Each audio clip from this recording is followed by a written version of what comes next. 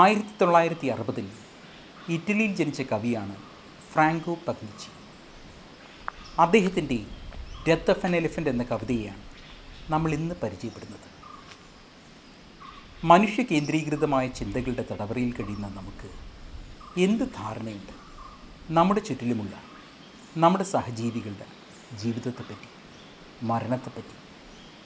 ഇവിടെ ഈ കവിത നമ്മുടെ കൈപിടിച്ചു കൊണ്ടുപോവുകയാണ് അങ്ങ് ഉൾവനത്തിലേക്ക് അതിവൈകാരികതയൊന്നുമില്ലാതെ കവി നമുക്ക് കാണിച്ചു തരികയാണ് മരണം എങ്ങനെയാണ് കാട്ടിനുള്ളിൽ സംഭവിക്കുകയെന്ന് കവിത death of an elephant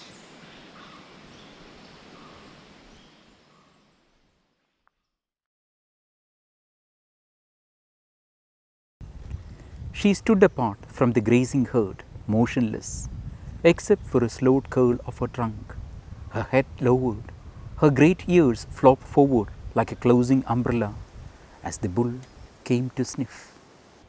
കവിത തുടങ്ങുമ്പോൾ തന്നെ നമ്മൾ കാണുന്നത് ഒരു ആനയാണ്. വയസ്സായ ഒരു പിടിയാന. അതിന്റെ അവസാന കാലമായി അതാണ് അത് കൂട്ടം തെറ്റി മാറിപ്പോയി നിൽക്കുന്നത്. ഇനി അതിന് എന്ത് സംഭവിക്കും? നമുക്ക് ആകാംക്ഷയായി. അത്ര സാധാരണമല്ലാത്ത കാഴ്ചയാണിത്. നമുക്ക് ആനകളുടെ തലയെടുപ്പോടുകൂടിയുള്ള നടപ്പും അവയെ ഇങ്ങനെ എഴുന്നള്ളിച്ച് കൊണ്ടുപോകുന്നതും ഉത്സവത്തിനും മറ്റും. ഇങ്ങനെയുള്ള കാര്യങ്ങൾ അതുപോലെ ആനകളെ പറ്റി പല കാര്യങ്ങളും നമ്മൾ വായിച്ചിട്ടുണ്ടാകും പക്ഷേ ആനകൾ അവയുടെ അവസാന കാലത്ത് പ്രത്യേകിച്ചും ഈ കാട്ടിലെ വനത്തിലെ ആനകൾ അവ എങ്ങോട്ടാണ് പോകുന്നത്? പണ്ട് ഞാനൊരു പുസ്തകം എഴുതാൻ വേണ്ടി പറമ്പിക്കുളത്ത് ആ വനത്തിൽ പോയി. അപ്പോൾ അവിടെയുള്ള ഒരു ഗൈഡ് ഒരു ട്രൈബൽ ഗൈഡ് എന്റെ അടുത്ത് പറഞ്ഞ കാര്യമാണ്. ചിലപ്പോൾ അതൊരു മിത്തായിരിക്കും ഒരു വിശ്വാസമായിരിക്കും. പക്ഷേ അതെന്റെ മനസ്സിൽ നിന്ന് ഇതുവരെയും പോയിട്ടില്ല. അതായത് അദ്ദേഹം പറഞ്ഞു ഈ ആനകൾ അവസാന കാലമാകുമ്പോഴേക്കും അതായത് അതിന് മരണം അടുത്തെത്തിയെന്ന് തോന്നുമ്പോഴേക്കും ആ ആന കൂട്ടം തെറ്റി. മറ്റൊരിടത്തേക്ക് അദ്ദേഹം പറയുന്നത് കാടിന്റെ നടുക്കൊരു മാഷി പ്ലേസ് ഒരു ചതുപ്പ് നിലമുണ്ടെന്നാണ്. അങ്ങോട്ടേക്ക് പോകുമത്രേ സാവധാനം നടക്കുക മരണം അടുത്തെത്തിയെന്ന് തോന്നുന്ന അതിന് തോന്നുന്ന ആ നിമിഷം. ഇപ്പോൾ ഈ കവിത വായിക്കുമ്പോൾ എനിക്ക് ആ ഒരു കഥയാണ് എന്റെ മനസ്സിൽ വരുന്നത്. വളരെ ക്രിസ്പായിട്ടുള്ള വിവിഡായിട്ടുള്ളൊരു ഇമേജാണിത്. ആ ആന ഏതാണ്ട് നിശബ്ദമായി ഏതാണ്ട് നിശ്ചലമായി തന്നെ നിൽക്കുന്നു. നമ്മൾ കാഴ്ചക്കാരെ ഭയപ്പെടുത്തുന്ന രീതിയിലുള്ള ഒരു നിശ്ചലത. മരണത്തിന്റെ സാമീപ്യം അതെടുത്തെത്തുമ്പോൾ ഉണ്ടാവുന്ന ഒരു നിശ്ചലത. ആനയുടെ തലയൊരൽപ്പം ചരിഞ്ഞിട്ടുണ്ട്. അതിന്റെ തുമ്പിക്കൈ ഒരൽപ്പം വളഞ്ഞിട്ടുണ്ട്. അതുപോലെ അതിന്റെ ചെവി. ശീലക്കൂടെ ഇങ്ങനെ അടയുന്നത് പോലെ അടയ്ക്കുന്നത് പോലെയാണ് ആ ചെവി ഒരല്പം മുമ്പോട്ടായി അടയ്ക്കുന്നത്. നമ്മളൊരു യാത്ര കഴിഞ്ഞ് നമ്മൾ അവസാനം ഈ കുട ഇങ്ങനെ മടക്കില്ലേ? ഇപ്പോൾ ഈ ആനയുടെയും ആ യാത്ര ജീവിതയാത്ര അത് കഴിയാറായി. അതായിരിക്കാം അങ്ങനൊരു ഇമേജ് കവി കൊണ്ടുവരുന്നത്.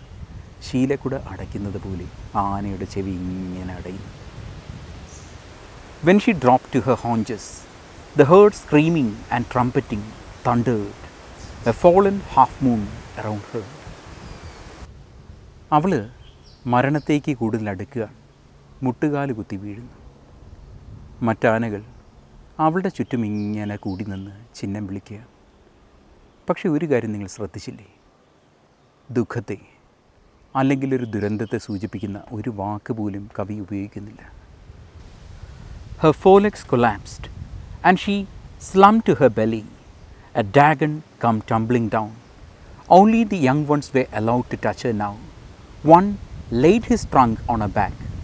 One nuzzled her ear.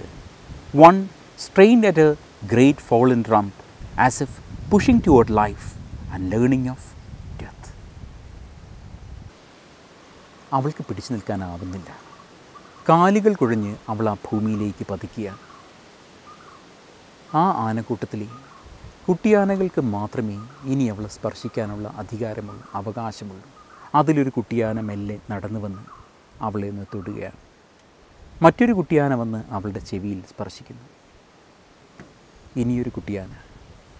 അത് വന്ന് അവളുടെ ആ വലിയ പിൻഭാഗത്ത് തള്ളുകയാണ്. ആസന്നമായ ഒരു പക്ഷേ ആസന്നമായ മരണത്തിൽ നിന്ന് ജീവിതത്തിലേക്ക് അവളെ തള്ളിക്കയറ്റാൻ അതിനുവേണ്ടിയായിരിക്കാം അവനിങ്ങനെ ചെയ്യുന്നത്. അല്ലെങ്കിൽ മരണത്തിനെ കൂടുതൽ അടുത്ത് നിന്ന് അറിയാൻ വേണ്ടി. നിങ്ങൾ ശ്രദ്ധിച്ചിട്ടുണ്ടോ എന്നറിയില്ല. ഈ മരണ വീടുകളിൽ ചെല്ലുമ്പം നിങ്ങൾ ഈ കൊച്ചുകുട്ടികളെ കണ്ടിട്ടില്ലേ? അവർ ഒന്നുകിൽ ആ മരിച്ച അവരുടെ അടുത്ത് അല്ലെങ്കിൽ മരണാസന്നരായി കിടക്കുന്ന ആൾക്കാരുടെ അടുത്ത് ഇങ്ങനെ ചുറ്റിത്തിരിയും. അവർക്കറിയും അങ്ങനെ അതിനുള്ള പ്രായവും പക്വതയൊന്നും ആയിട്ടില്ല. പക്ഷേ അവർ അടുത്ത് നിന്ന് കണ്ടു പഠിക്കുകയാണ് മരണത്തിനെ. ആ മരണ സാമീപ്യം അവർ ആ കുട്ടിക്കാലത്ത് തന്നെ അവരിങ്ങനെ ഓരോരുത്തരെയും ഓരോരുത്തരെ കരയുന്നത് ഇങ്ങനെ സൂക്ഷിച്ച് നോക്കും. അതുപോലെ ആ മരിക്കുന്ന ആൾക്കാരുടെ ആ ഒരു ഭാവം അതെങ്ങനെയാണ് ആ സമയത്ത് അവസാന നിമിഷം അവരെന്താണ് എങ്ങനെയാണെന്നൊക്കെ വളരെ സൂക്ഷ്മമായായിരിക്കും ആ പ്രായത്തിൽ ഇങ്ങനെ നോക്കി നിൽക്കുന്നത്. എനിക്ക് ഈ ആനകൾ ആനക്കുട്ടികൾ വന്ന് ഈ മരിക്കുന്ന അല്ലെങ്കിൽ മരണാസന്നയായി കിടക്കുന്ന ആ പിടിയാനയെ വന്ന് തൊടുന്നത് കാണുമ്പോൾ എനിക്ക് ഈ കാര്യമാണ് ഓർമ്മ വരുന്നത് Then the great bull head lowered, tried to lift her with a rope. He moved to her head and tried to lift her. He tore a trunk full of dry grass and stuffed it in her mouth over the dust on her sack lip to lift her. He tried to mount her into life. She heaved to her side and was dead. അതിനുശേഷം ആ കൂട്ടത്തിലെ കൊമ്പനാന അവൻ പതിയെ മുന്നോട്ട് വരിക. വന്ന് ആ വീണ് കിടക്കുന്ന അവളെ ഇങ്ങനെ ഭൂമിയിൽ നിന്ന് തള്ളി ഉയർത്താൻ ശ്രമിക്കുകയാണ്. പക്ഷേ ആവുന്നില്ല. അവളുടെ ആ വിധിയിൽ നിന്ന് മരണത്തിൽ നിന്ന് അവളെ രക്ഷിക്കാൻ അവൻ ആവതും ശ്രമിച്ചു. സാധിച്ചില്ല. അവൾ ഒടുവിലങ്ങ് ചരിയുകയാണ് മരിക്കുകയാണ്. It was sunset late African spring and December as a restless feeding herd came one by one to the grey body and moved off together over the ridge into the dusk. കവിതയുടെ അവസാന വരികളാണ് നമുക്ക് കാണാനാവുന്നത്. ആഫ്രിക്കയിലെ വൈകി വന്ന വസന്തത്തിലെ December മാസത്തിലെ ഒരു സായാഹ്നം. ആ ആനകൾ ഓരോരുത്തർ ഓരോരുത്തരായി ആ വീണ് കിടക്കുന്ന പിടിയാനയുടെ അടുത്ത് വന്ന് ചാരനിറത്തിലുള്ള ആ ശരീരത്തിന്റെ അടുത്ത് വന്ന് നിന്ന് ഒരു നിമിഷം മൗനമായി നിന്നിട്ട് അവരങ്ങ് നടന്നു മറിയുകയാണ്. ആ കുന്നിൻ ചരിവിലുള്ള ആ ഒരു ആ സൂര്യൻ അസ്തമിക്കുന്ന അങ്ങോട്ടേക്ക് ആ റിഡ്ജ് കഴിഞ്ഞ് അങ്ങ് മറയുകയാണ്. അവരിങ്ങനെ ആ കുന്നിൻ കുന്നിനപ്പുറത്തേക്ക് ഇങ്ങനെ നടന്ന് മറയുകയാണ്. ആ ഒരു കാഴ്ചയാണ് നമ്മൾ കാണുന്നത്. ഇതൊരു ദൂരക്കാഴ്ചയാണ്. മഹാനായ എഴുത്തുകാരൻ റഷ്യൻ എഴുത്തുകാരൻ അൻഡോൺ ചെക്കോവ് പറഞ്ഞിട്ടുണ്ട്. Don't tell me that the moon is shining. Show me its glint on a broken glass. എന്നോട് പറയരുത് ചന്ദ്രൻ ആകാശത്തിളങ്ങുന്നുണ്ടെന്ന് നീ അതിന് എനിക്ക് ഒരു പൊട്ടിയ കണ്ണാടിച്ചില്ലിൽ അത് കാണിച്ചു തന്നാൽ മാത്രം മതി ഇവിടെ ആനകൾ ആ വീണ് കിടക്കുന്ന പിടിയാനയുടെ ചാരനിറത്തിലുള്ള ശരീരത്തിൽ വന്ന് തൊട്ടിട്ട് ഓരോരുത്തർ ഓരോരുത്തരായി വന്ന് സ്പർശിച്ചിട്ട് അവരിങ്ങനെ ആ കുന്നിൻ ചെരുവിലേക്ക് നടന്ന് മറയുന്ന ആ ദൂരക്കാഴ്ച വല്ലാത്തൊരു കാഴ്ചയാണ്.